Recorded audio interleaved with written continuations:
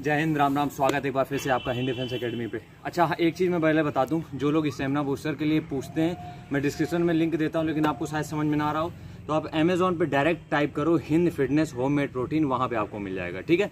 तो आज हम चार एक्सरसाइज आपको बताने जा रहे हैं, जो आपकी स्प्रिंटिंग में आपको हेल्प करेंगी मतलब जब आप स्पीड रनिंग करोगे तो उसमें आपको हेल्प करेंगी। उसके लिए आपको जगह चाहिए थोड़ा सा ऊपर, इस तरीके का।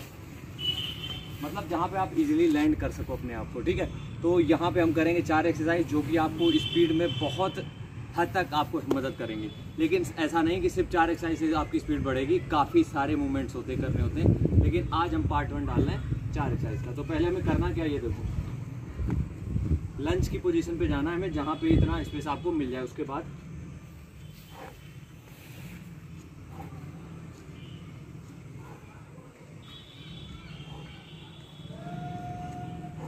ठीक है? पंद्रह रेपिटेशन एक पैर से और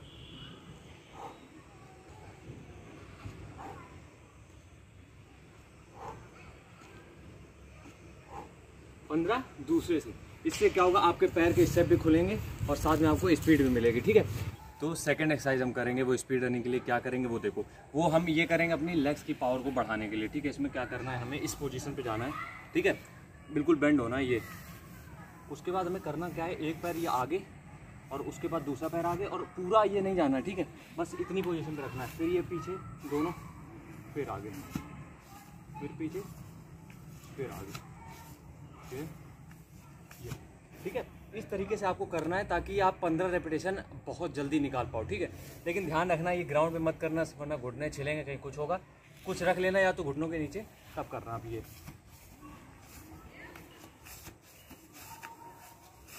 ठीक है?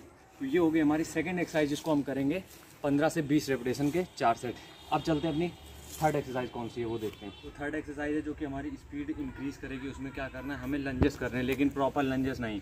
जो हम करते थे, वो नहीं करने हमें इसमें क्या करना है, ये आगे ले जाके, ठीक है, ये पैर जहाँ रहेगा, इधर तक जाएगा, ये पीछे। ज़मीन पे टच रहेगा, लेकिन रुकना नहीं है बस। जितने भी रेपटेशन मारने आपको ये रिलैक्स नहीं करना, ना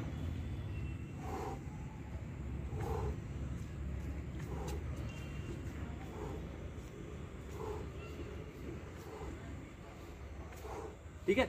तो इस तरीके से एक पैर से पंद्रह, दूसरे पैर से पंद्रह, हो गए आपके चार रेपिटेशन और लास्ट का सेट जो हम मारेंगे मतलब चौथी एक्सरसाइज जो होगी हमारी, वो होगी स्क्वाट रन वॉक हम स्क्वाड की पोजिशन पे जाके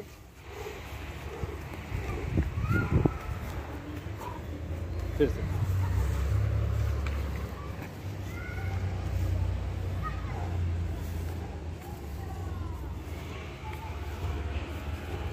तो ये आपका क्या है कि पूरा जो आपके पैर की थाई की हैमसिंग ग्लूट सारी एक्सरसाइज सबको ट्रेन करेगा और बहुत बेहतरीन स्पीड आएगी।